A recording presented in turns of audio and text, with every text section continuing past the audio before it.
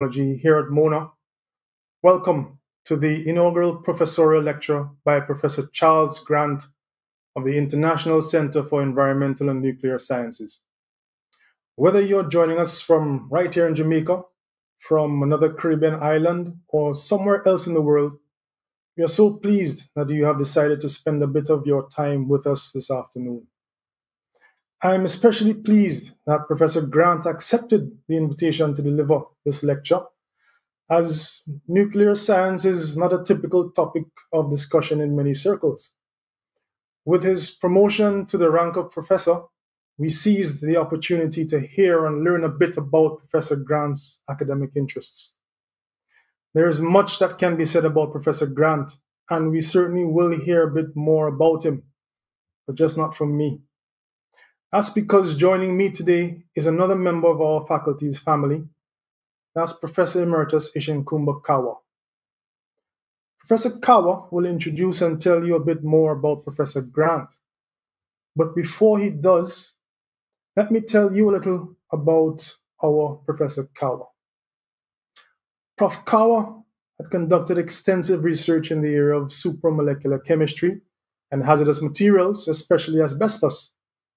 Having served the UWI for 31 years, he officially concluded his time here in September 2018. During his time at the UE, he served as head of the Department of Chemistry, Dean of all faculty, and Deputy Principal, all here at the Mona campus. Although time does not permit me to share with you Prof. Kahwa's numerous noteworthy achievements, just a few of them are that he was a member of the campus's strategic transformation team that developed strategies for improving scholarly output.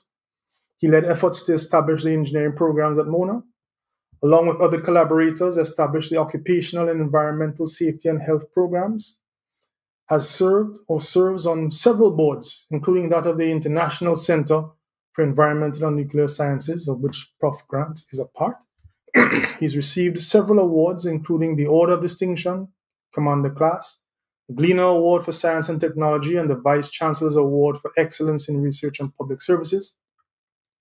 He's a member of the CARICOM Science, Technology, and Innovation Committee and has been a referee for several international journals and a member of a team helping the African Union establish a five campus continental university, the Pan African University. So, Professor Kahwa, thanks very much again for joining us this afternoon, and welcome to you and to our guest of honor, Professor Charles Grant.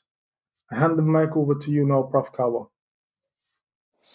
Uh, thank you. Uh, thank you very much, um, uh, Dean.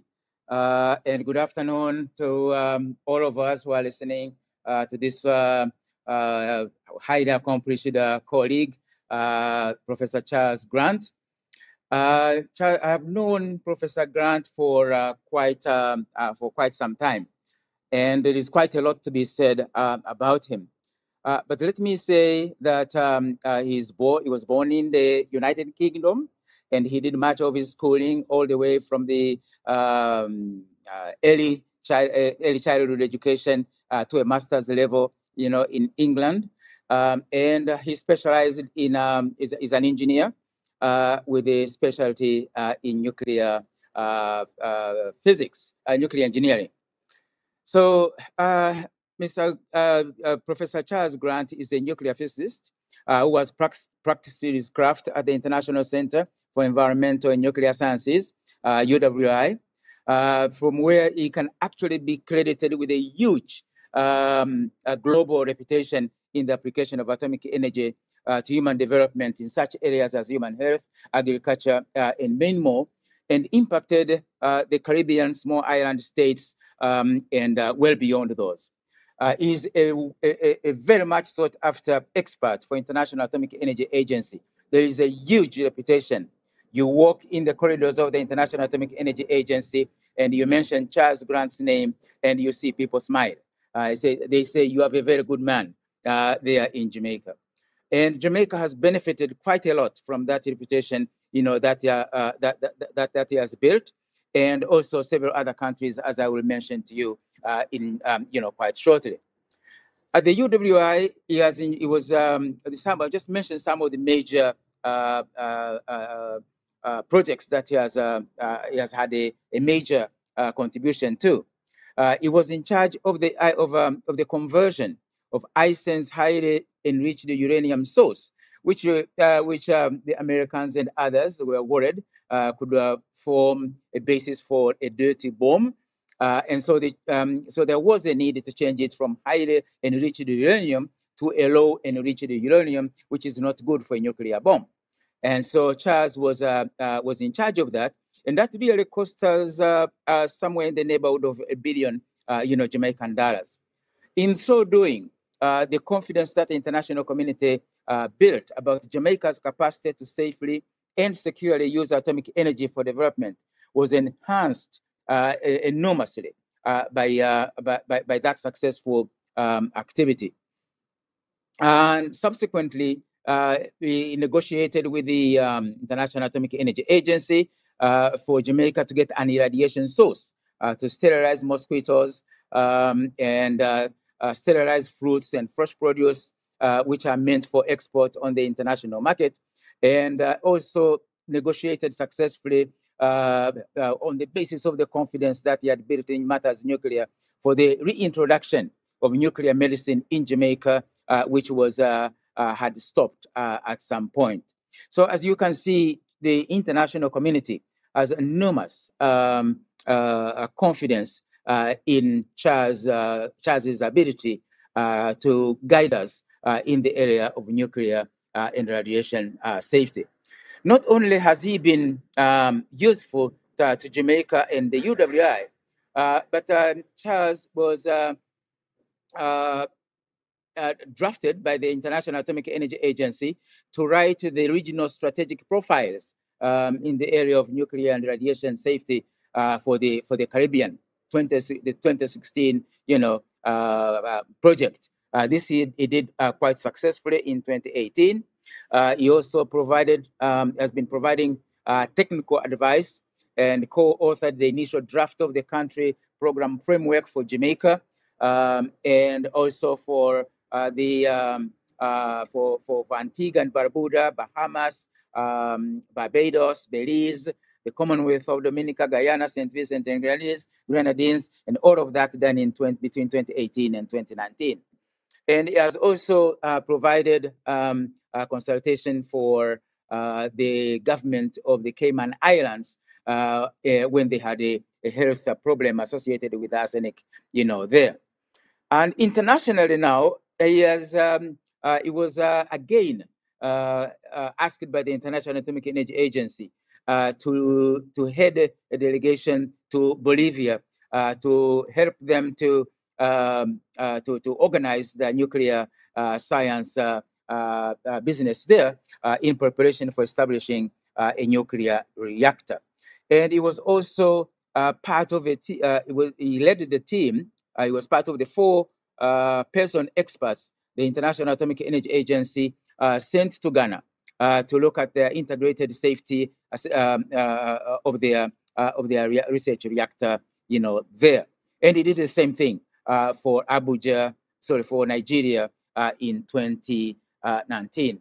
He has been pretty active um, um, in transformative advisory services in Jamaica, advising the government on the need to uh, include atomic energy in, it, in its energy mix and um, uh, uh, advising and actually helping the country in dealing with its um, uh, hazardous uh, chemicals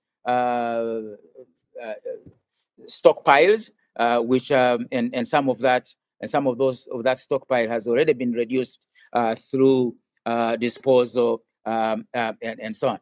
So I could go on and on, ladies and gentlemen, uh, uh, it suffices to say uh, that um, Professor Charles Grant has been a huge blessing for the Caribbean, for the University of the West Indies, and the world indeed. As I indicated earlier, Jamaica, United, the University of the West Indies, Jamaica, the Caribbean, uh, the uh, many developing uh, countries, and in fact, the uh, total functioning of the International Atomic Energy Agency on this part of the world uh, does it, has depended quite much uh, on the expertise, dedication, and insights uh, that Charles has had uh, in the area of uh, nuclear and, and radiation uh, and radiation safety. So, ladies and gentlemen, I present to you uh, Professor Charles Grant to give his inaugural lecture this afternoon.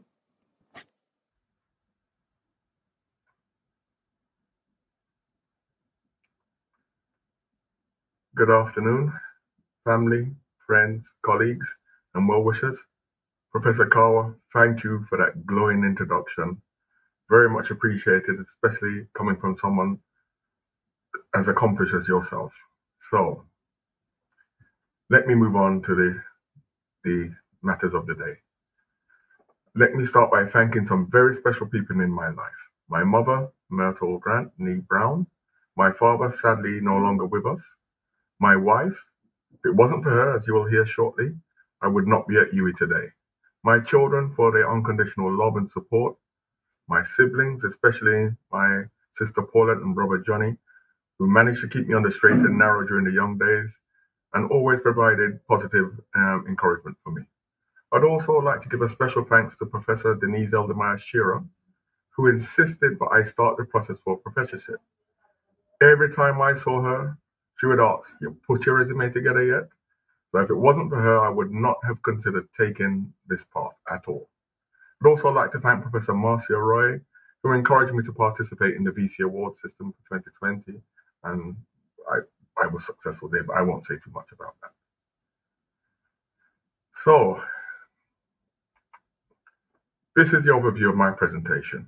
I will share a little bit about my journey to the UWI, the institution that I worked at and now head, the research teams that I joined and that we undertook, and their relationships to three important social, social um, sustainable development goals or socio-economic de- development goals. Um, those being number two, zero hunger, SDG number three, health and well-being, and SDG number nine, industry, infrastructure, and commerce.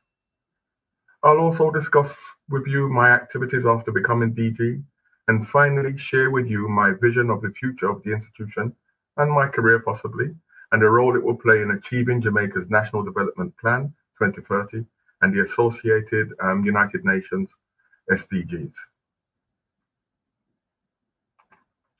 So these are my elders. This is where it began. Top left are Charles and Nettie Brown, my mother's parents. My mother, Myrtle Brown, the young, younger version of her, my daughter looks exactly like her. Um, next are my mother and father on their return to Jamaica in 1990, almost 50 odd years after they had left the island. Far right is my the young version of my father. And to the bottom right are my grandparents on my father's side, James and Arabella Grant. So my parents are part of what is now known as the Windrush generation. That name I'm sure a lot of you have heard. It's been in the news for all the wrong reasons. They actually went up to England in the 19, early 1950s. But like I said, the Windrush generation now, um, all the wrong reasons for being in the news, particularly about the poor treatment meted out to a number of persons who were in the UK for over 60 years and then, then were having their rights removed. I had to say something about it. it's a terrible situation, but I'll leave it right there. This is not a political forum. So this is where it all began, September 30, 1966 at Lewisham Hospital. Top left, a photo of my siblings and one cousin. So going from left to right, top row first, my cousin Trevor, um, elder sister Claudette, in the middle, my brother Fitzroy, elder sister um, Paulette. Bottom row, that's my brother Johnny, and my to, to my right, that's me in the center, um, my elder brother Tony. I'm the youngest of the bunch, so just to give you an idea. So bottom left is a typical picture or where I grew up in um, Southeast London back in the 70s.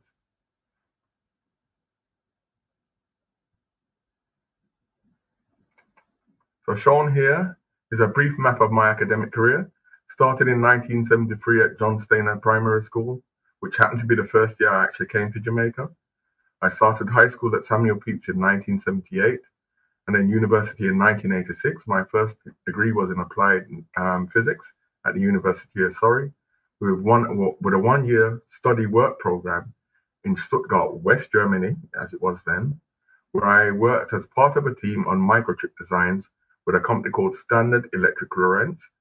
You will now recognize that company as Alcatel, the name changed, they were bought out. So upon completion of my first degree, I worked in the city of London for a while as a property accountant, a job courtesy of my big sis Paulette, who arranged everything for me. Um, but quickly realized that that wasn't for me, and that's not what I could see myself doing for the rest of my life. I reached out to my old professor, Nicholas Spyrou at University of Surrey. He arranged for me to start my master's in radiation and environmental protection um, with a specialization in reactor physics that following year, so that would be 91. So I graduated in 92 and I came to visit my parents in Jamaica that Christmas. I hadn't seen them for two years. As I said, they'd almost left home for 50 years and were glad to be back in 1990.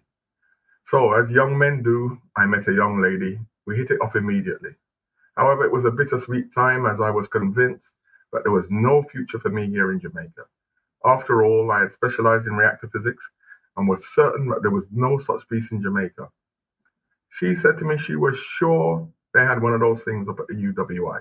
She'd seen it on profile or something the following Sunday. She insisted on me putting my resume together and sent it off to the UWI. About a month later, I received a call from Prof. Lalor, um, who was then the principal of the Mona campus, um, to come in for an interview. She, of course, was correct, as they did indeed have a reactor on campus. Now, unbeknownst to me, Prof. Lalor and my old professor Nicholas Spyrou um, were good old friends. The nuclear community is a small is a small one. So during the interview in his office, he called Nicholas at home and said, Nick, I have one of your boys here, Charles Grant. He claims he wants to work for me. What do you think of him? And the response was, Well, if you don't want him, I'll take him back. So I took that was a glowing reference as far as I was concerned, short and sweet. Oh, sorry, I missed my slide. So, about the institution, well, I started work at the Center for Nuclear Sciences, as it was called at the time. It was a small but highly dedicated research unit. Now, as you can see by the names, and these are the colleagues of the team that I joined at the time. Um, all the researchers um, were basically chemists, including Prof. Lalor. The only exception being um, Dr. Voutchkov, now Prof. Voutchkov. So I brought a slightly different flavor to the team in that not only was I a physicist, but with a speciality in reactor physics. And a time shortly after that, Prof. Lalor actually made me the first chief reactor operator for the facility. So now you know how I got here, and you know a little bit about the institution that I joined and that I worked at. However, a good question would be what does nuclear science have to do with sustainable development issues of agriculture, health, and environmental sciences? And by the end of my talk, I hope it will make a little more sense to you as to why I'm here and why I started. Well, I have to go back a little bit. Um, I am going to apologize to my colleagues in chemistry because I had spoken quite a bit about this during the memorial lecture for the late Prof. Lalor earlier this year in chemistry. So um, but for the other person, I, I will give you a little detail. So it starts like this. During a study tour of the Soviet Union in 1974 and East Germany in um, at the same time, um, both of which don't exist anymore, although I see Vladimir Putin making a good attempt to bring the Soviet Union back to life. Prof. Lalor came across a very powerful analytical technique known as neutron activation analysis, which had been used extensively in several large-scale geochemical mapping exercises in the Soviet Union, leading to discovery of one of the world's largest deposits of tungsten. He immediately thought such an exercise in Jamaica could have a profound effect for science in the country. Just one small problem, he needed an intense source of neutrons in the form of a reactor. He was so sure that this was the right path that several years later, he was able to convince the European Union to spend their money on a Canadian reactor. Now, I'm not sure, for those of you familiar with fundraising, you know that that, that never happens. They spend money with their own countrymen. Unbelievable as it was, he got it done, but that was the kind of person Prof. Lalor was.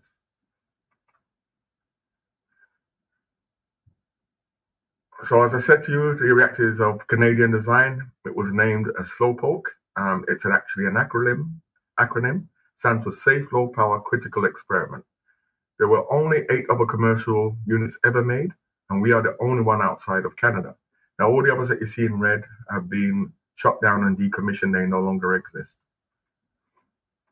However, it's not quite as lonely as it sounds. Um, so on this map here, you will see the three green dots representing the location of the remaining slow slowpokes. But also you will note um, eight red dots. These are the miniature neutron source reactors. This is the Chinese version of the reactor. So the analytical techniques and methodologies that we developed here and that I will share with you are also applicable to this class of reactor. So, sorry, the clicker is a bit slow. So just a, a brief um, description of the reactor. So the only takeaway I want you to take from this slide, I mean, there's a lot of numbers and so on, is that it's a compact core. It's 93% enriched in uranium-235. Keeping in mind that naturally occurring uranium is only 0.7% um, enriched in uranium-235. However, as Prof. Kahwa had hinted at, post 9-11, the use of highly enriched uranium weapons grade material became a real issue one which I had to solve later on. Also on this slide, also to take keep in mind, this reactor is inherently safe.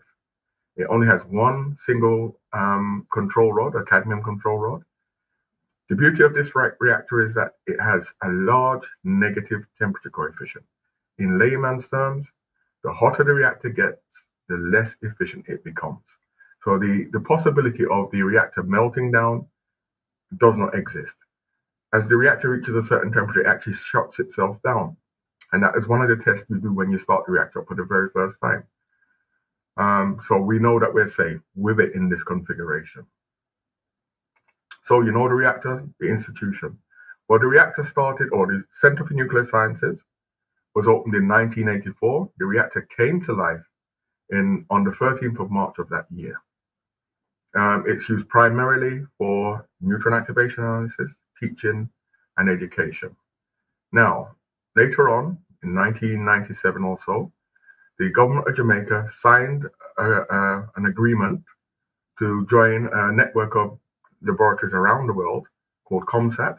It was to encourage self-south collaborations and in science and technology. At that point, the Center for Nuclear Sciences was selected to be one of 10 nodes around the world and we, we were then renamed the International Center for Environmental and Nuclear Sciences. And at that time, we became a joint venture between the government of Jamaica and the UWI. Um, particularly with the government, we're under the Ministry of Science, Energy and Technology, Honorable Minister Vaz being our head. oh, I sorry about that. So this is the slide that I should have been showing you. For those of you are unfamiliar with the um, institution, to the left, that's UWI. Um, bottom right is the actual um, facility. So how do we move from understanding the fate of neutrons inside of a reactor to understanding the fate of trace elements in the biosphere? So how do we move from what's in rocks to soil, to water, to air, to food, to animals, and eventually you? We want to understand the entire chain, how this thing all hangs together. Now, for the reactor, the process that takes place inside the reactor is called fission, the splitting of atoms. In our case, uranium-235. A neutron strikes a uranium atom, splits it into two smaller nuclei, as depicted in the top left there. And with the production and of two to three neutrons and the release of energy, that release of energy captured in Einstein's famous equation equals mc squared. These three neutrons, as again shown in the diagram up, up above, split three more uranium atoms, releasing more energy and more neutrons, so on and so on, a chain reaction. Now, the overall behavior of a chain reaction depends on the multiplication factor. In simple terms, it's the number of fissions in one generation over the number of fissions in the preceding generation. This is captured bottom left in the so-called six-factor formula that takes into account all the losses and generation points. If K is greater than 1, the chain reaction grows rapidly and can lead to things you don't want. Uh, if K is less than 1, the chain reaction is not sustained. And if K is equal to 1, um, the process is maintained. The way we have our reactor set and most research reactors, K is just above 1. In, in, in fact, our K is 1.0004, so just enough to keep things going. So how do we use neutrons to understand the fate of trace metals in the biosphere? And I know you all know the answer already. It's, of course, neutron activation analysis. So one technique to achieve everything. Well, almost, a bit of an exaggeration. Well, the process of nuclear activation was discovered by Nobel laureate Irene Joliot Curie and her husband Frederick. Now, I know most of you recognize the name Curie, of course. She is the daughter of double Nobel laureate Mad- Madame Curie. What an amazing family of female scientists. So, what are the basic principles of NAA? That is, a nucleus will absorb a neutron to produce a characteristic radionuclide that usually emits gamma rays. We then computerize the signal and use data reduction techniques to collect the gamma ray spectra, which allows us to identify and quantify these elements with great sensitivity. So let me just walk you through that diagram. So as you see here, we have a neutron being introduced to the target nucleus, um, as shown. That target nucleus is any atom within your sample. Now your sample can be rocks, soil, air filters, human tissue, plant material, you name it. If we can get it into the reactor, which is not as complicated as it sounds, we can perform activation analysis. This then goes on to form a compound nucleus, which is incredibly unstable. Keep in mind that this is actually happening inside the reactor. This results in the emission of either alpha particles, beta particles, positrons, and a gamma ray. All this happens spontaneously. Coming out of this now, and this is where this is the process that actually allows activation analysis to take place. We form a semi-stable radioactive um, nucleus. This semi-stable state is what allows us to remove the sample from the reactor to our measurement device. Now, encircled in green there, you see the um, delayed gamma ray. That gamma ray has all the information we need to know about the target nucleus. So we'll be able to tell you lots of things about the actual sample by just measuring that. Okay. So how do we then interpret this gamma ray? Well, the above equation, and, uh, and, and I should apologize, but I'm not going to. I'm a physicist, so you must expect that I would have to show you a couple of equations, but it's, it's key. So the above equation is known as a single shot neutron activation equation and is the basic equation used for the determination of elemental concentrations in irradiated samples. So it's not as bad as you think when you break down the equation. So we have a number of universal constants on the left. So these are things that are well known, they're documented, they're in books, they're in published papers. We know them pretty well by now. In the middle and encircled, we have five quantities to measure. Not so bad when you think about it. Three of them are time. So what do you need for that? Stopwatch, right? We need to know how long we irradiated sample for in the reactor, how long we're going to count it for on our detection system, and what was the transfer time between the reactor to the counting system. And one of the other things to measure, of course, is mass. Like I said, quite simple. Um, just the microbalance, right? The one thing to quantify is D, the detector response, but that also is not as complicated as it sounds, and I will show you um, how we deal with that shortly.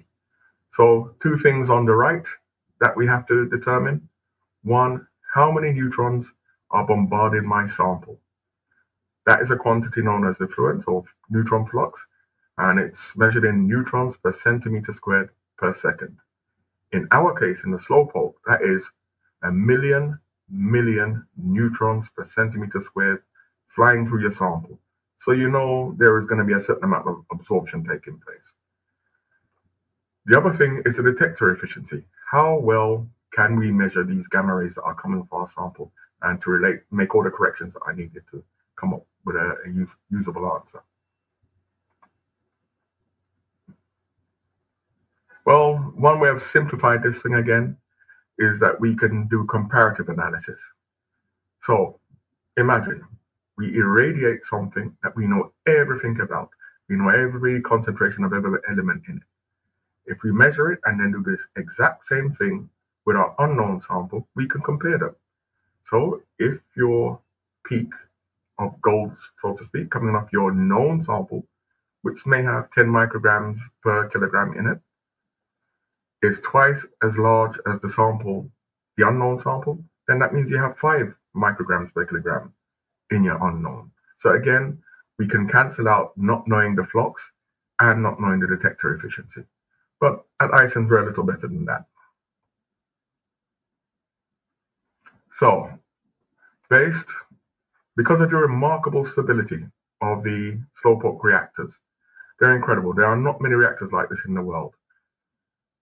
The flux, or the number of neutrons per centimeter squared per second, remains constant for a period of years and even between reactors. Based on this, we are now able to develop quantification constants for each of the elements. We measure very precisely known amounts of each of the substances that we're interested in and can develop a, a constant that can convert the peak area into a concentration. So a very unique um, methodology, but works exceptionally well.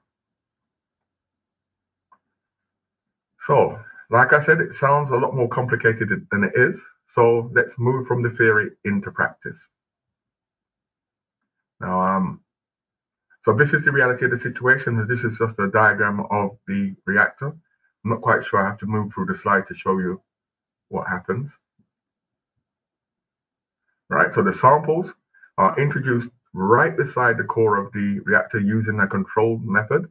We use um, compressed air to blow the samples in and out where they are bombarded by that 1 times 10 to the 12 neutrons per centimeter squared per second. We're going to have something to measure. Also shown here is our external rig. We sometimes use these for larger samples that require larger volumes to be analyzed, but that is not really the, the topic of the discussion today. So now let me start by thanking Mr. John Preston for this diagram. It was courtesy of him I got this. So this is the basic setup of a gamma ray detection system. I won't go over all the elements, but just to note that there's lead shielding, dealing with safety. And this is to shield the analyst from the unnecessary radiation coming off the sample, as well as to improve the detection of the sample because we are constantly bombarded by background radiation from the cosmos and even from the very building material surrounding us. Nothing to worry about. This is perfectly natural. Mankind was born into this. You'll also note that there is a Dewar presence, and this is because the hyperpure germanium detector used to measure the gamma rays only functions properly at ultra low temperatures. We have ours at the um, liquid nitrogen temperature, which is minus 196 degrees Celsius. So let me run you through this basically and quickly. All right. So the incident gamma rays generates a current in the detector. In a photon detector, the gamma rays are photons, the height of the pulse produced is proportional to the energy of the respective incoming photon. So you get the idea. So we run that signal for all the electronics that you just saw on the previous slide, and we get what we call a spectrum. Now, looking at the bottom axis, you will see that the energy increases from left to right. Remember I said the gamma rays are characteristic. If you know the gamma ray that we are measuring, you know exactly what the target nucleus is. It's characteristic. It comes from that.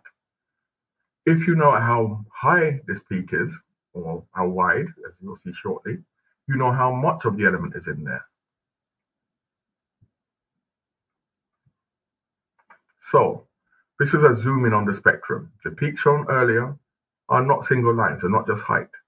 They are actually Gaussian in distribution in the ideal case, that is. And it is this area that we use to determine the concentration of the element using the single shot equation. The white area is the peak area, the D. Remembering that equation that I showed very first, the single shot? Well, that's the peak area that I was discussing.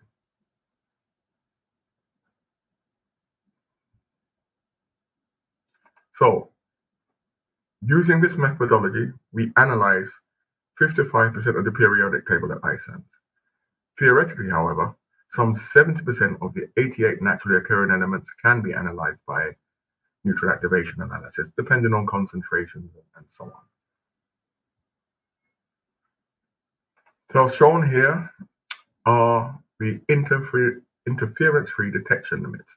So this is the smallest quantity of these elements that we can measure, just giving you orders of magnitude here. This involves irradiating minute quantities of these elements in a very pure form and then measuring on a similar detection system that I just showed you. Now, in reality, spectra are not ideal or life interference free. So shown here are the real world detection limits of various uh, matrices. Remember, we're interested in the biosphere. So we're going to talk about what's in soils, what's in, is in plant materials, what's in the human being, what's in animals. So I've given you examples of all of those right there. As you can see, they're quite varied. Now, to effectively track the fate of trace metals in the biosphere, analytical results have to be of the highest quality. As such, a great deal of time and effort has been put in to establishing a sophisticated system of quality control and quality assurance. In fact, during my tenure as head of the laboratory, up till 2014, the laboratory was recognized and still is as a regional and international level as a state of practice laboratory. That is uh, pretty high.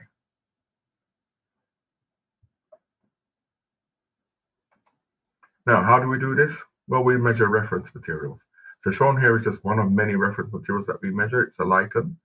So on the bottom axis, the x-axis, that is the certified value. So these materials are known very well they are traceable to international laboratories.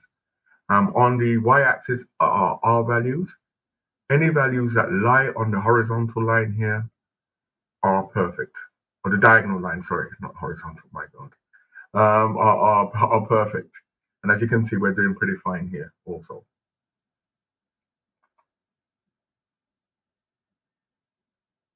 We also do trend analysis.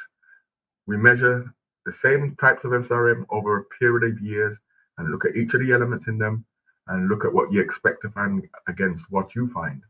Well, over a five year period for iron in this particular soil SRM or reference material, um, the expected value was 3.5%. We got 3.49.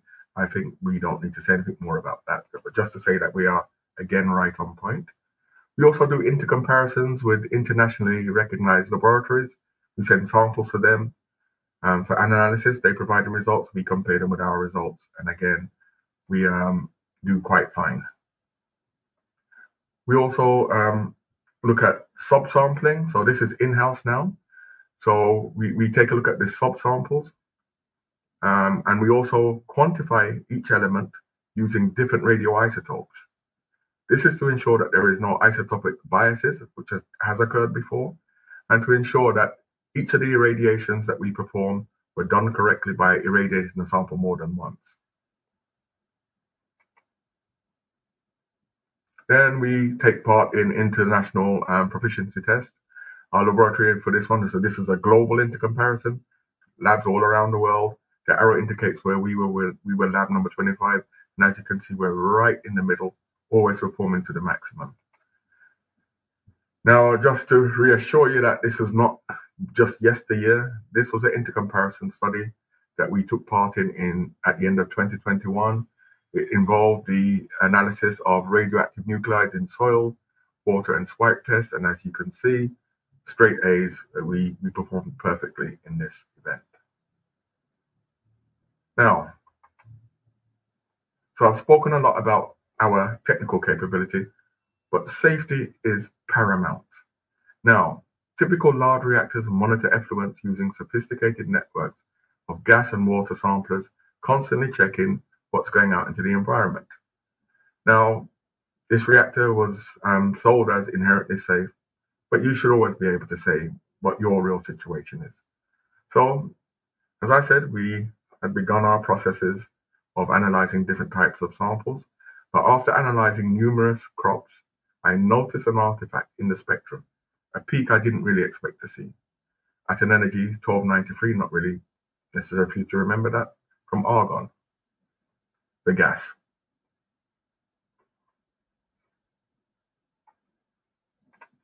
So, based on the fact that the fuel does not come into contact with the samples, the only effluent is the irradiated air when the samples are taken out of the reactor. Remember I said we use a pneumatic system. Argon is the first most third most abundant um, gas in the Earth's atmosphere at about just over, over 0.9%. However, based on its nuclear properties, it readily absorbs neutrons and therefore becomes activated. So we can actually detect it in the lab.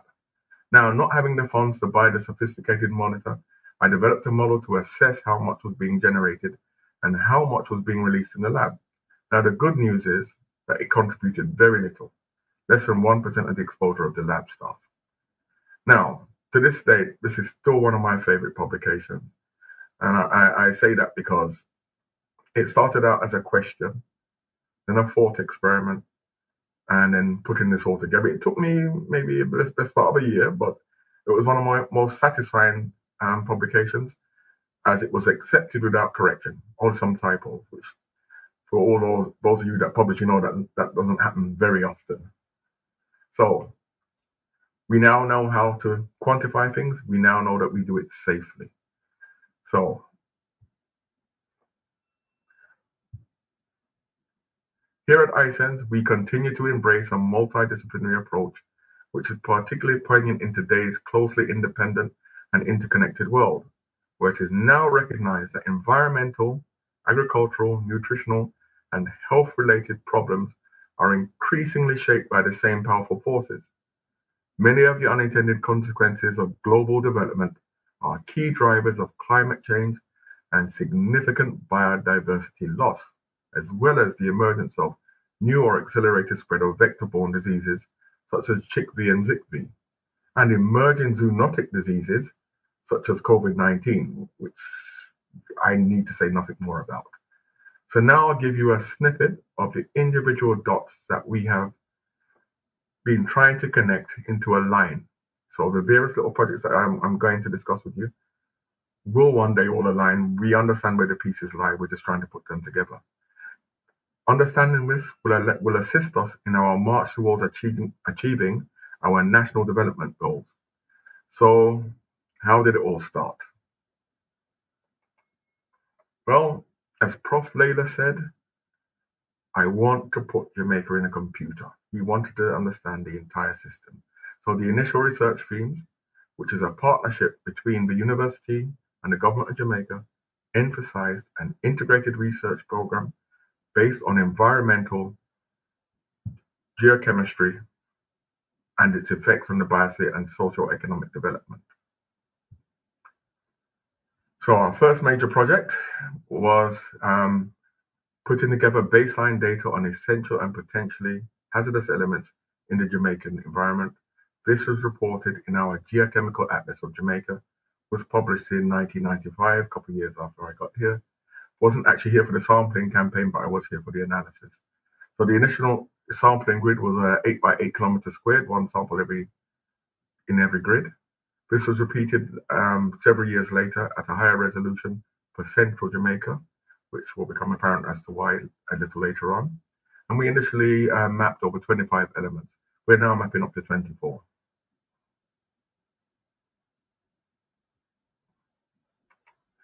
So shown here are the maps that we produced or a, a sampling of. Um, I put up alumina first because you're not we're a bauxite producing nation. But you'll also note the remarkable similarity between the other um, heavy metals that are shown here, in particular um, cadmium. Um, cadmium is a well-known toxic metal, and uh, I'll get into the importance of this and how it shaped the research for a few years afterwards. So when this work was first submitted for peer review publication in Environmental Geochemistry and Health, one of the reviewers noted that everybody in Jamaica should have died by now of cadmium poisoning. So he concluded, therefore, your analytical methods must be incorrect. Now, the initial results were obtained by atomic absorption spectroscopy, spectroscopy, a very sensitive technique. Um, so the chemist amongst you will know more about this than me. It was also the preferred method for cadmium analysis at the time. Neutron activation was not recommended for it. What we needed was a method that could analyze at a relatively high sample throughput with good accuracy. I'm sure some of you have heard of the law of, of the instrument or Maslow's hammer. So that says simply, if the only tool you have is a hammer, you treat everything as it were a nail. So to do this, we pushed NAA by bisulfite to its limits, and in doing so, published one of our method development papers in the Journal of Radioanalytical Chemistry. So today, this technique for cadmium analysis of ICENS is now a routine um, matter. We, we analyze almost everything for cadmium using this methodology. It works very well. So we now have all the tools we need. What next? Agricultural studies. So we've looked at the geochemistry of soils. How does this relate to agriculture? So this now encompasses SDG number two, um, zero hunger, and SDG goal number 15, life on land. So how do we go about doing this? Well, we find out where all the farms are and then overlay them on our geochemical map. And then go about sampling all these farms, whatever produce they were having um, or growing at the time, and taking soil samples to see if we could find any relationship between the two. Now, as an example, oh, So these are uh, this is a depiction of the maps of where the farms were, and a summary. Sorry, I'm having a little trouble with the clicker. A summary of some of the results that we got. Um, I've chosen to show two foods you here, but particularly because they're both grown in the ground: carrots and yams.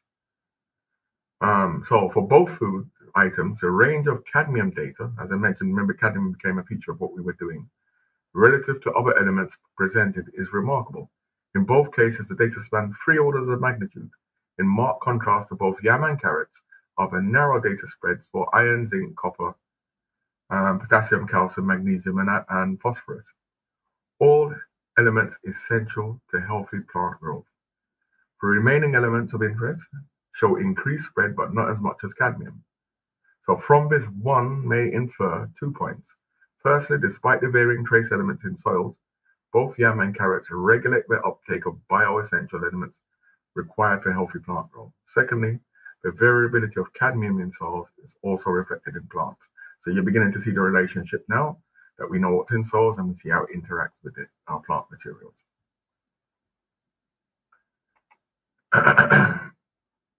Excuse me.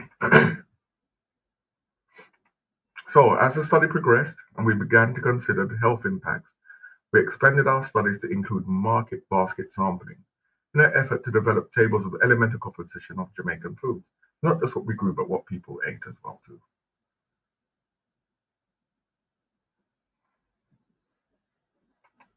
So we not only eat plants, of course, we do eat animals. I apologize for the vegetarians amongst you. Um, so we carried out similar research on cattle we looked at um, parts of the animal that would accumulate um, high levels of metals, these being the livers and kidneys. And again, we noted similar patterns. Those animals reared in areas with high levels of various trace metals. This was reflected within the bovine livers and kidneys, especially when we corrected for the age of the animal at slaughter. So shown on the right there is just a table of some of the results. And we will note that we started to measure fish at this time also which is a segue into our next section. We started looking, as I said, in more detail at the situation with fisheries, again covering SDG number two, um, zero hunger, we um, and SDG number 14, life below water this time. So, over the years, as I said earlier, um, we have been accumulating elemental data on fish and noted that predatory fish generally had elevated levels of mercury, particularly hazardous for pregnant women and unborn children. And now had the opportunity to perform groundbreaking research on the elemental con- content of the invasive lionfish. Now, the initial government strategy for Jamaican waters was a campaign to consume the lionfish, stop, eat them to beat them. So, based on the work that we had done, it was concluded that the lionfish appears to contribute modestly to mineral and trace element nutrition while not being a significant contributor to dietary exposure of toxic elements.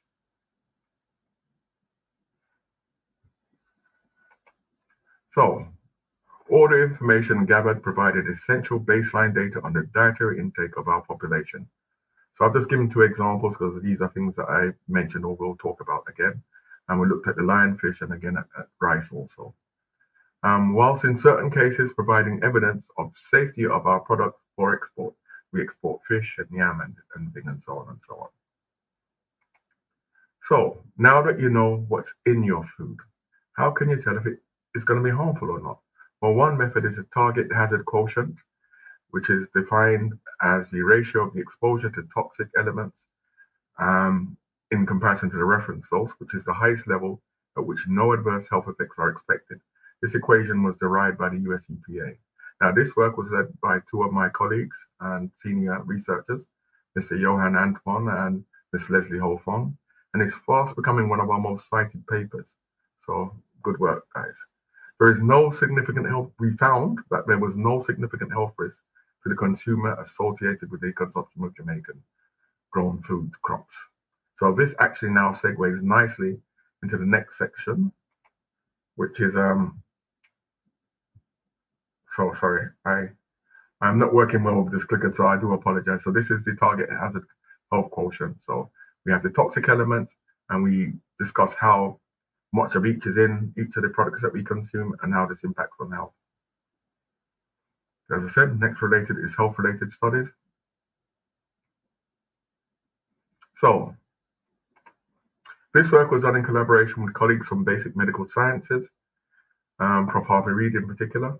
Um, some studies have shown that chromium supplements may be helpful for people with type 2 diabetes and insulin resistance. Now, based on this, we utilized blood samples from 50 diabetic patients and 50 controls. And we found, in general, the mean and median values are generally higher in the control population. That means those with diabetes have lower chromium in them. The difference between male diabetics from separated by sex and a control group was significant. So males did worse, apparently. So, um, like I said, I'm not a medic. I'm not going to try and go on about what the exact meaning of that is. Next, um, as I said, this technique is a multi-elemental technique. That means when you're looking for one thing, often other things turn up. So in this case, we um, identified other, other trace elements.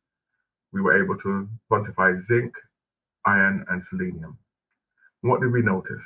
The difference between um, the diabetic population for zinc is very distinct and is statistically significant. The test for the control of or diabetic control is the HbA1c long-term control. And we noted for male, for the male controls, there is a positive correlation for the HbA1c and selenium, indicating that those with higher levels of selenium had better control of their um, diabetes.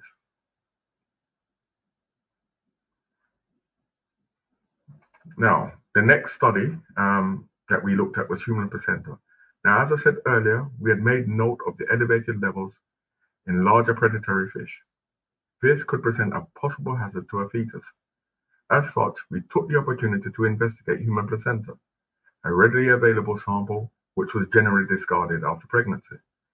This work was done in collaboration with the University Hospital, Prof. Fletcher again taking the lead there. So each patient completed a questionnaire which included information on diet, particularly the amounts of fish consumed and the number of dental amalgams, both potential sources of mercury, a well-known neurotoxin. So the good news, approximately 79 of the measured placentas in this study were below the limit of 11.5 micrograms per kilogram. None exceeded the conservative estimate limit of 150 micrograms per kilogram at which neurodevelopmental issues begin. Again, like I said, this is a multi-elemental technique. So, and we had completed um, extensive questionnaires. We took the opportunity to take a look at other elements that presented themselves during the analysis for mercury. This was calcium and zinc, and we saw mothers that had higher levels of calcium in their placentas and zinc had a better outcome in terms of um, childbirth weight, which can have some long-term implications. But again, this is not my place to say. So industry and commerce. Um, we did have a little impact here. so, one of my favorite stories, it was the in which we really helped out with, was the construction of the um, Falmouth Pier. It was almost halted permanently due to elevated levels of cadmium and nickel being reported in the dredging sample. So this was during the preparation for the, for the pier to be built, which exceeded environmental limits in Norway. So these were the financiers of the project. Now, initially thought to be anthropogenic, after being um, they initially thought this was anthropogenic, caused by the dredging and by some man-made inputs. So we were approached by the government and asked to see what we could do. They provided um, sub-samples of the samples that they measured in Norway. We quickly confirmed that the via our independent analysis that their analysis was correct. However, we had more information than they did. We actually understood the geochemistry of Jamaica. Our remark was we were surprised that the levels were so low. We put a report together, which included several of our um, peer-reviewed publications, as well as copies of our um, geochemical atlas of the country, and proved to them that it was naturally occurring. The project was resumed, and the 224 million US dollar pier now exists. You all know it as Falmouth Pier, of course. We worked quiet in the background, but made a major contribution here. And again, I'm sure many of you will remember the cement quality control issue with the bad cement issue in 2006, basically caused by the quality control system going out of alignment. The, um, the quality of cement being produced was not of sufficient quality. We were asked to assist in the recalibration of their system. We provided independent analysis for their samples. And again, the, the online systems were put back up and running again quite quickly. So again, having a large impact for the work that we do very well.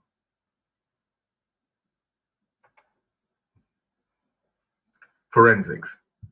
Now, um, I add this for one main reason. It's to exhibit how when you do something well, you can really change things. Now, this actually made international news. An entire beach being stolen, 500 truckloads they estimated. Now, being able to analyze minute quantities of substances to a high degree of accuracy, you can tell the difference where between where samples come from. We essentially eh, developed elemental fingerprinting. So we took samples from the stolen beach and what we call recipient beaches, where the sand might have gone. Some of these beaches said, well, yes, we bought sand from elsewhere, but it wasn't from there. And by analyzing the samples, we were able to discern the difference. We could see where these samples matched up. And quite clearly, there were two beaches that, and I don't want to say too much more about this, that would have received sand from the stolen beach. So we were able to show that. Now, again, I say this is a forensics. It didn't start out like that, but you'll see where I'm going with it. Now, after amassing huge amounts of data, we began data mining using various statistical tools.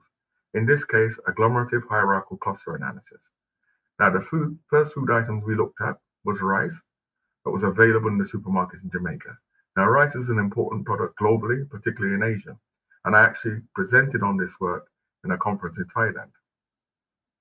So, putting in just having a huge database, we performed this cluster analysis, and straight out, blindly, it identified whether it was brown rice, white rice, or parboiled. It then, unbelievably, we were able to determine where the samples came from. And in a couple of cases, even cultivars.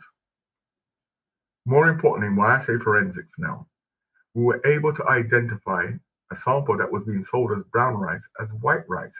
And when we took a closer look at the sample, you could actually see that it clearly wasn't brown rice, it was um, dyed white rice. And the elemental composition proved just that.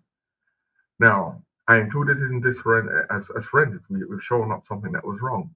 And based on this, we have now used this methodology in several other cases.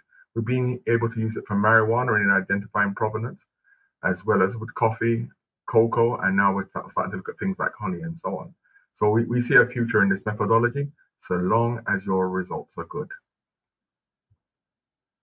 Now to end this section on just about analysis and what we're doing now, I chose this particular project. To highlight because it encompasses all the aspects of the work I have discussed thus far and connects the dots to a line. So this is the Cayman project.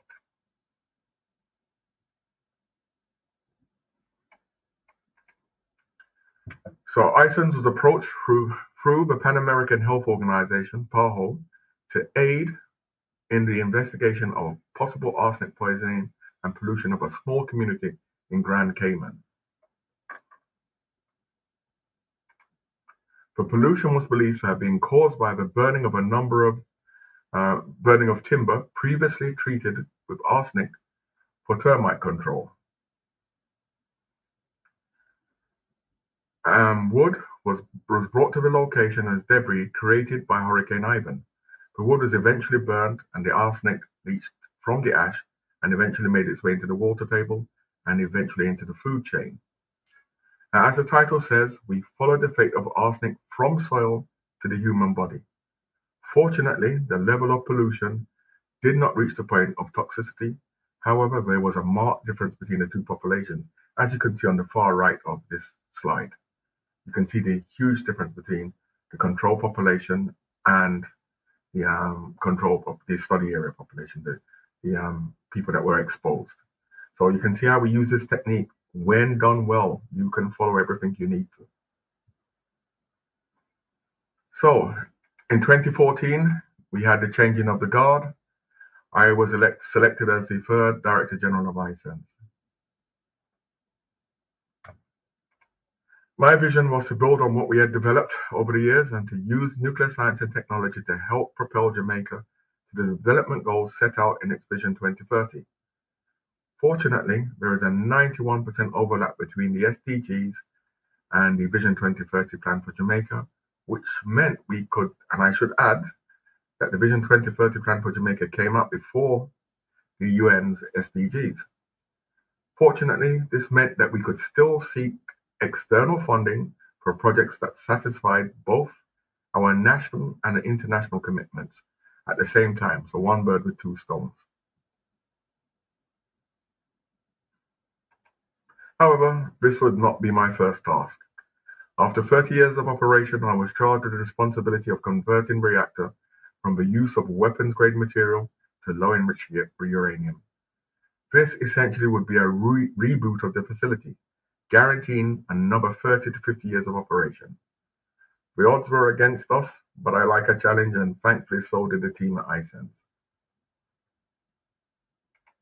This plan took many years to put together, so I was only there, well, not only there for the execution, I was there throughout the planning phases, but was in charge during the time of the execution.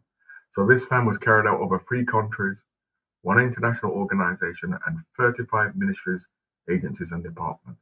So a lot of phone calls, lots of meetings, lots of um, coordinating to, to take into account.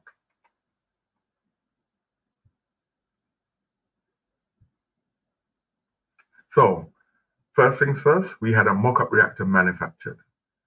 We organized dry runs. They were very important as they familiarized all personnel with the equipment and procedures and highlighted the things to look out for during the actual conversion activity and to minimize exposure times during actual operation. The facility was built in Montreal, Canada, and eventually shipped to Jamaica. So detailed calculations were performed on supercomputers at the Argonne National Laboratory at the University of Chicago. And Mr. Hale Dennis was essentially in, in charge of this and did a tremendous job. This was to ensure that the reactor core would not go prompt critical at any time during the sensitive operations. Now, when that happens, there is usually a huge blue flash. Blue flashes in nuclear reactors are a very, very bad thing and will usually be the last thing you see before make, meeting your maker. So no one normally tells the stories afterwards.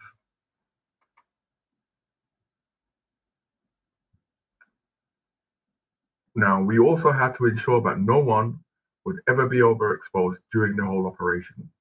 So we calculated the fission product inventory to assess how radioactive the core would be after 31 years of operation. Now, again, Mr. Hale Dennis um, did a lot of these calculations using supercomputers. And I'm proud to say that I, using the old methods of with um, equations and so on. Um, came up to the same answer almost. I think we were less than three or four percent difference between what took weeks on a supercomputer through my calculations. I was pleased and reassured at the same time that we were on the right track here.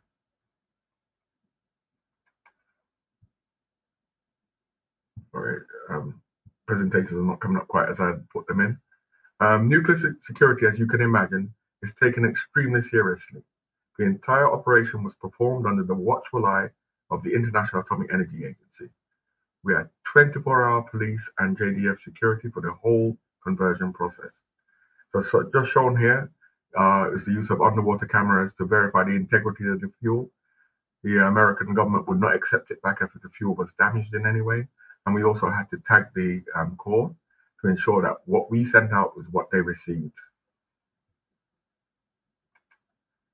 So the removal process would take approximately one week from start to finish after years of planning. Now, this was done in the dead of night with the JTF helicopter flying overhead, um, JDF and JCF military escort, and the fire brigade on full alert. All of these personnel we had personally trained. It was like being in some sort of a movie. So at about 2.30 the, the, the night in September, early September, the call was put on a ship and bound for the US. Savannah River to be exact. Now, post conversion, I'm um, doing a little assessment here. As you can see, our estimations, the calculated doses are very close to what actually took place. So our calculations are right on right on point.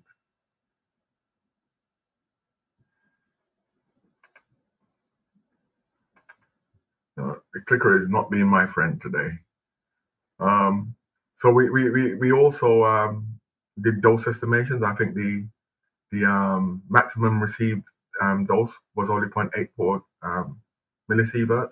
Not sure that means too much to many of you, but just to say we were less than five times, were five times lower than the maximum dose we would have accepted.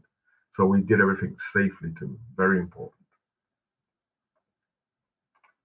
So what next? On the road to the new reactor going into place. What would this involve?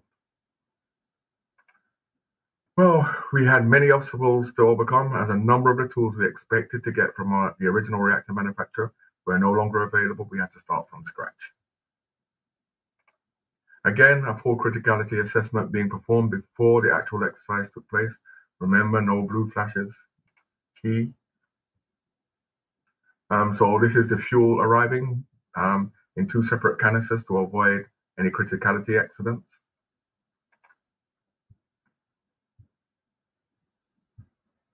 Sorry about this. Um, these slides actually should have been faded in and out, but I, I guess it's a little difficult. So this is myself and Johan Antoine performing the fuel inspection of the fresh fuel. So we inspected it before it left Canada, but we also inspected it on its arrival. Again, security and safety um, being paramount to ensure that what we had shipped was what we received. So the first fuel pin being put in, loading would take three patient days. Now, for the observant among you, you will note that the first criticality took place on my birthday, so that's September 30th. And by the um, 6th of October, we had a fully functioning reactor again. So this is so this is the team. Um, from left to right, we have Johan, O'Shane, Janelle, Rick, Keith, Hale in the middle, um, Pat, myself, John, and Ron. So this was an outstanding example of how regional cooperation can support global efforts to minimize the civilian use of um, weapons grade materials whilst preserving important research capabilities. Very important. We actually ended up with a better reactor. It can run for twice as long. Core life is twice as much, meaning that we can almost double our sample throughput. So quite an achievement. In addition to the local and technical engineering expertise developed, this conversion was also an outstanding example of local, local collaboration requiring efforts from numerous government ministries, agencies, and institutions.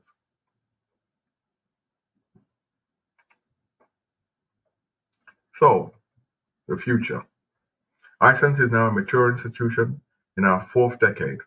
and we've become increasingly aware that many of the challenges that Jamaica faces are shared by our Caribbean neighbors and by extension, small island developing states across the world. However, the skill sets built up in the young scientific staff members at ICENS during the conversion has left the institution in a unique place for small island developing states. By opting to take on board a number of the key activities during the conversion, has built a remarkable team by which I am very proud.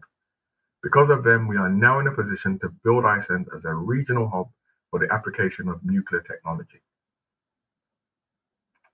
Now, to this end, my first step was the proposal for the establishment of the first multi-purpose gamma irradiation facility in the English-speaking Caribbean, which was approved by the IAEA for almost 1 million euro. The reactor project, well, as Prof. Kahwa already said, was about a billion Jamaican, which we didn't pay the IAEA and the US government, in fact. Now, this will result in the establishment of a new department at ICENS. In the short term, this facility will be integral in two major IEA technical cooperation projects that are of vital concern to the country. One is crop improvements using experimental mutagenesis. This will use gamma ray treatments to enhance production of ginger lines resistant and or tolerant to ginger rhizome rot pathogens. Now, why is this important? Well, data from 2016 shows that the food import bill was US $841 million, or almost 18% of, the, of all imports to Jamaica. Now, a major constraint for crop production is yield losses due to pests and diseases. These treatment could potentially reduce those losses significantly. Now, the second project is the integrated vector management approaches with the sterile insect technique component to control the Aedes aegypti mosquito as vectors of human pathogens particularly Zika, Chick, and dengue. Now, I'm sure you'll remember the terrible time we had in 2016 again. Um, STATIN said that chikungunya affected 48% of all persons in Jamaica, an estimated loss of J dollar $6.6 billion, or 0.51% of GDP. Now, for a country that typically grows at 1 or 2%, a loss of 0.5 is huge and there was a loss of potential potential loss of 12.7 million man hours. So getting these kind of things under control is, is truly important. Now, in the medium to long term, this multi-purpose facility will not only allow the sustainable implementation of both projects, but will also allow the application of the technology to numerous other crops and vectors, both in Jamaica and in other countries of the region. Additionally, the introduction of gamma ray technology to other aspects of ag- agriculture, such as shelf-life extension of seasonal crops, increased exports because of phytosanitation, and to the health sector through uh, medical equipment sterilization and improved skin graft technologies for burn victims, could have profound effects on both sectors. So, as the third Director General, it is my intention to keep the institution focused on the application of high quality sciences, utilizing nuclear technology and allied approaches to contribute to the country's development, development agenda, as directed by its Vision 2030, and to regional development through the United Nations Sustainable Development Goals and to the Paris Climate Agreement. In doing so, I have deliberately sought to establish UWI and ICENS as a hub of nuclear technology for the region and for small island developing states around the world. And as evidence of this, um, and my commitment to this goal, I have helped to design and implement one interregional project, IEA project, includes 19 small island developing states around the world, and one regional project um, that involves eight um, CARICOM member states that are also IEA member states. All this taking place in the last three years. Now, the work presented today was not only about me and would not be possible without the help of collaboration and great friends and colleagues over the almost 29 years that I've been here, or the 29 years I've been here. This work is also theirs, and I want them to take pride in it too. And I thank each and every one of you. Finally, let me thank my family who have given me unconditional love and support over the years. It would have been a pretty miserable journey without you all. So, in finishing, what would I like you to take away from my our conversation today? Firstly, We're very good at what we do and we take pride in it. Secondly, we are now focusing on our developmental issues. Thirdly, the problems we need to solve are multifaceted. They run across disciplines and faculties. Good collaborators are essential. So we don't just need only physicists and only chemists. Numerous um, skill sets are needed. Finally, I hope what you've seen, that you've seen enough today to pique some interest amongst you. And I look forward to hearing from you in the near future in the hope of fruitful collaborations to come. So, with that said, I thank you all for taking the time out of your busy schedules to listen to my ramblings. I hope I managed to give you a brief summary of my journey to date and maybe a glimpse of the future. I now hand you back over to uh, the floor to Dr. Earl for any questions that you may have for me. I thank you.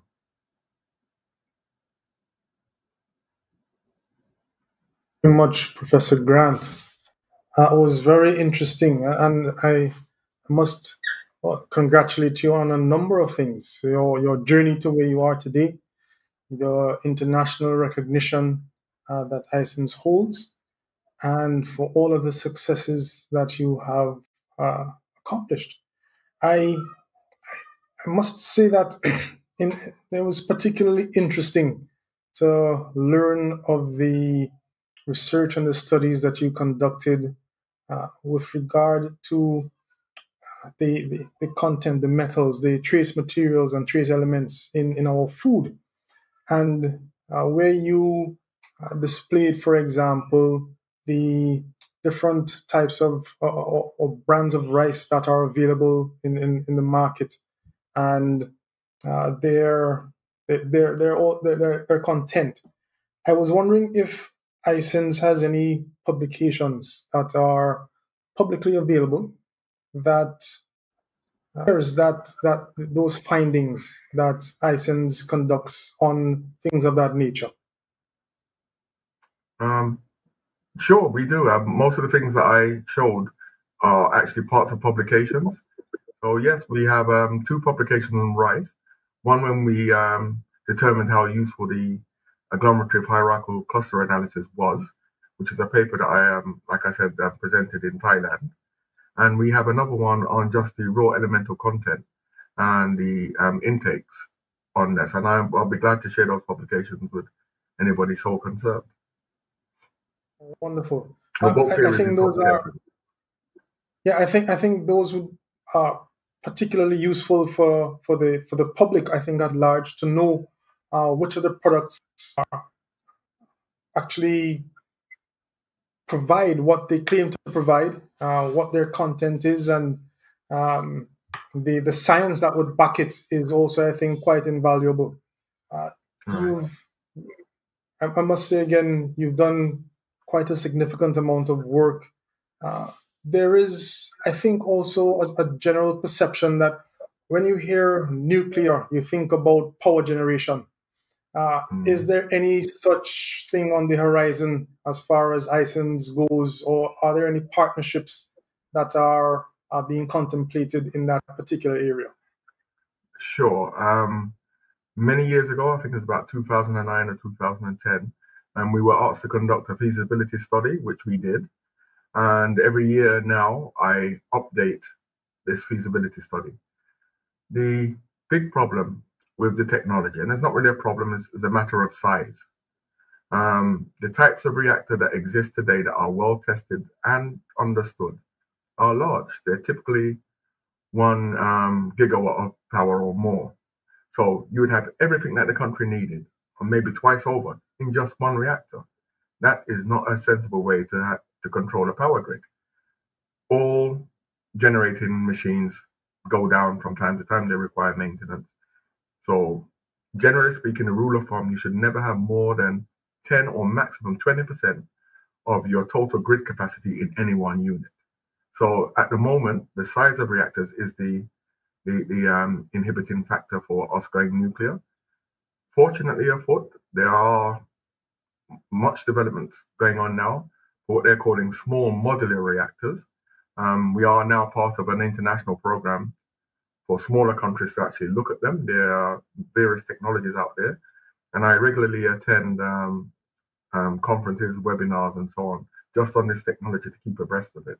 So when it does come become feasible, I don't want us to be a guinea pig, of, guinea pig, of course, to be the first one to have one installed, because they read they look very good on paper. Being good on paper is not the same as being in the real world. So I have hopes for it. The technology sounds reliable, safe, and secure.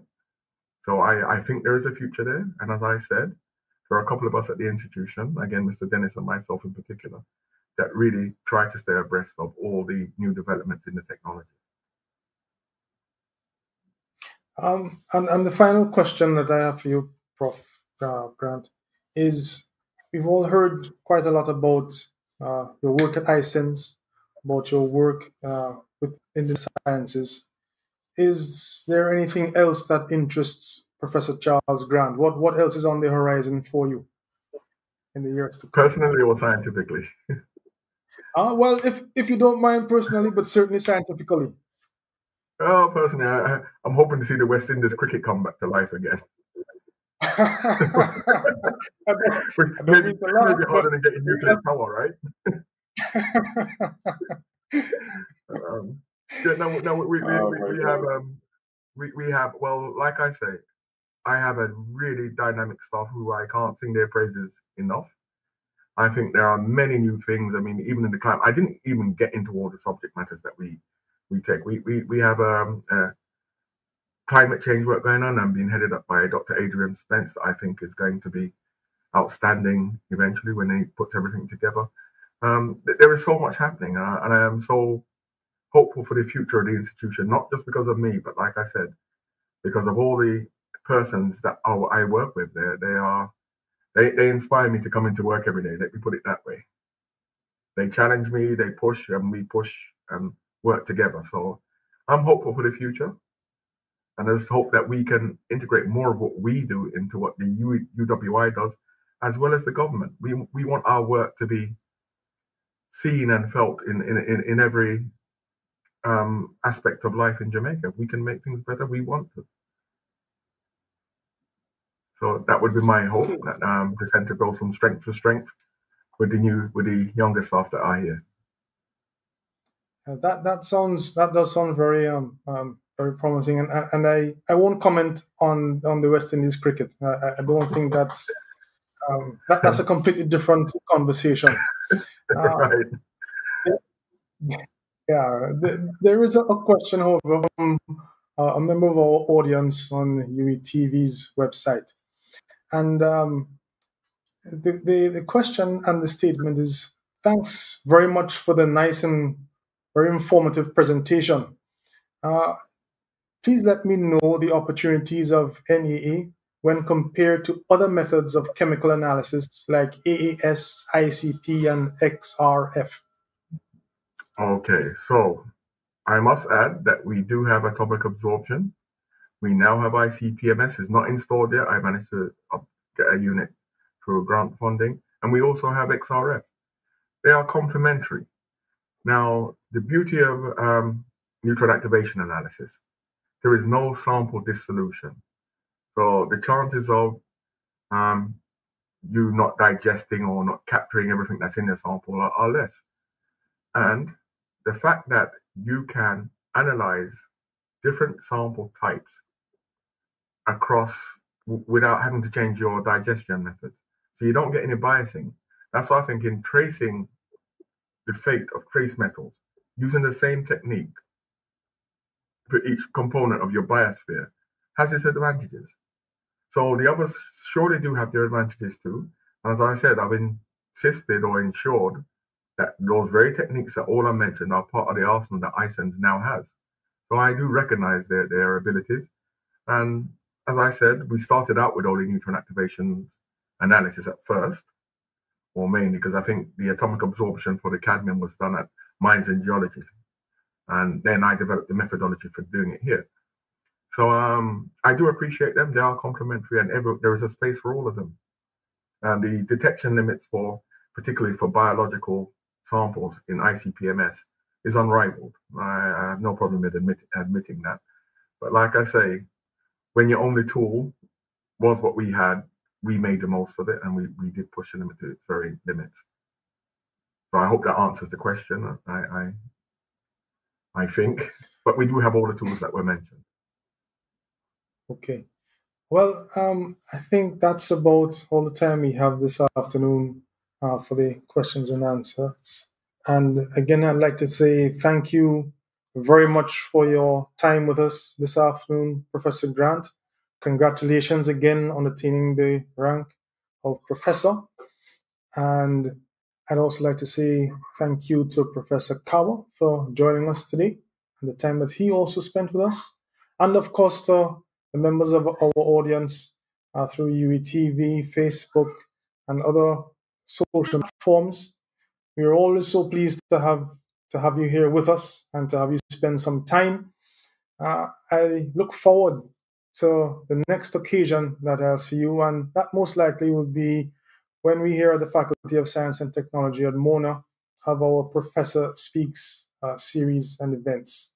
And so, with that, thank you so much again for your time. Please enjoy the rest of the day and have, I hope, uh, a pleasant and restful weekend. Uh, thank you very much.